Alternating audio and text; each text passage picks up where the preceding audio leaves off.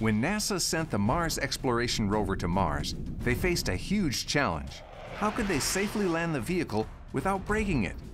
Well, as it approached the surface, such a cool design, we had to make our own. But instead of landing a rover, we're going to land an egg without breaking it. The campers cut out a pattern for a pyramid shaped Egglander capsule, folded it, attached balloons, and taped it down. Our Mars Egglanders were ready for launch. We took all the finished landers to the very top of a parking garage, five stories up. What